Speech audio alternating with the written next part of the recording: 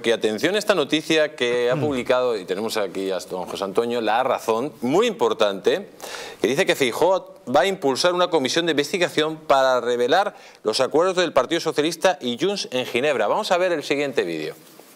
España no merece un presidente secuestrado, incluido el señor Sánchez. España no merece que se tome la lección a su gobierno todos los meses en Suiza y se le selle la cartilla de presidente del Gobierno por un mes más. España no merece que dos partidos negocien el porvenir de todos de manera opaca y ante un mediador extranjero. Mire, señor López, señorías, señores miembros del Gobierno, si no nos dan toda la información sobre sus negociaciones en el extranjero y de forma voluntaria, abriremos una comisión de investigación y no la cerraremos hasta saberlo exactamente todo todo lo que están negociando, quiénes son los mediadores, cuánto cobra cada mediador, cuál es el contenido y alcance de la negociación y qué están negociando en nombre de los españoles. Insisto, no la cerraremos hasta saberlo todo. Y comparecerán todos. Señoría, cuesta saber quién es más humillante en todo esto si el hecho en sí de negociar en el extranjero con un mediador internacional, que el mediador sea un experto en conflictos con bandas armadas, que la mejor comparación que se le ocurra al presidente del Gobierno sea equiparar estas negociaciones con la interlocución de los gobiernos con bandas terroristas que secuestran y asesinan, ETA. Fíjese, señores de Junts, por quienes les toman Es imposible tener respeto a las instituciones cuando ya se ha perdido el respeto a los ciudadanos. Aún encima el presidente del Gobierno haciendo chascarrillos del mediador en la presentación de su libro. Señorías. Pues amigos, esto es muy importante. Es muy importante. Primero que se haga una comisión de investigación en el Congreso y en el Senado, pero también judicialmente. ¿Quién paga al mediador? ¿De dónde sale el dinero que se paga al mediador? Porque claro, señor Vera, le voy a hacer la pregunta. ¿Quién se está reuniendo allí? ¿Es Junts con el gobierno de España? Bueno, ellos dicen, que es con el PSOE, ¿no? que como la persona que va representando la delegación española no forma parte del gobierno, que es el señor Santos Cerdán, pues entonces se, supone que ellos van a decir siempre que lo paga el PSOE. Eh, que es una reunión del PSOE con Junts, entre dos partidos. Esa es la argumentación. Evidentemente, si le preguntas a Puigdemont, no dice eso.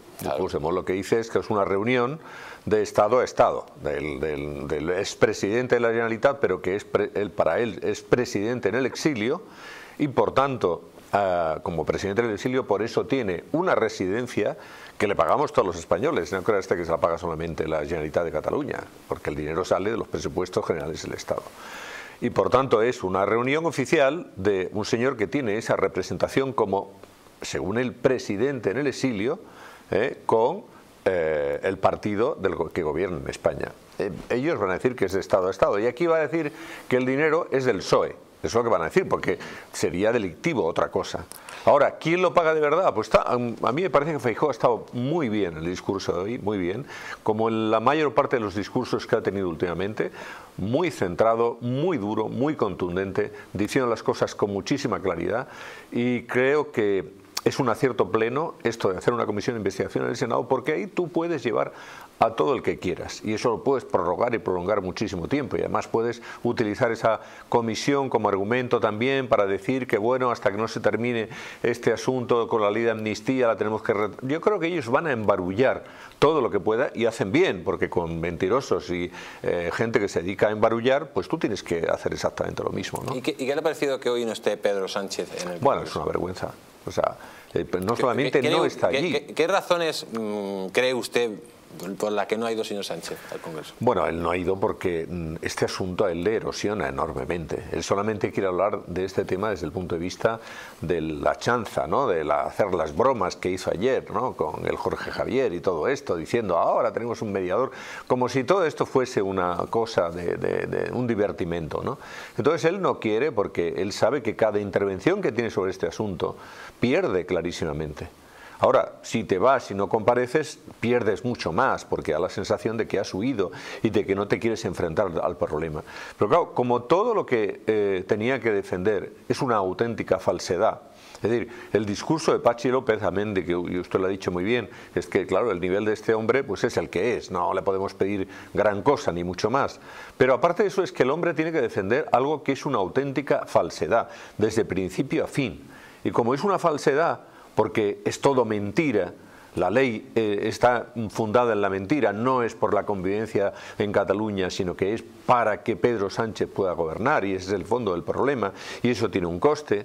Claro, como eso es así, pues al final eh, Pedro Sánchez piensa que, es que por muy cara dura que él tenga, le es muy complicado defender ese asunto. Entonces prefiere huir y no estar. Y por eso pone al pobre eh, Pachi López, que lo que hace es un papelón de estos del ridículo, porque claro, mm, eh, Feijó le ha dado por todos los lados, aunque lo más importante del debate aparte de la intervención de Feijó, que para mí ha sido muy buena, ¿eh? se lo tengo que decir, lo más importante ha sido las respuestas de Esquerra Republicana y Junts de los independentistas. Porque el señor Pache López ha venido a decir, no, esto es por la convivencia, el diálogo y tal, y los otros, esto es por el perdón, y los otros han dicho, no, no, perdón, no, nosotros no queremos ningún perdón, porque no hay nada que perdonar. Nosotros lo que hicimos es justicia, y lo que queremos es justicia contra, y ha empezado a dar nombres de jueces, de periodistas, de policías. Esto es lo que quieren. Y después ha dicho, y ahora viene el referéndum y después la independencia. Y no renunciamos absolutamente a nada.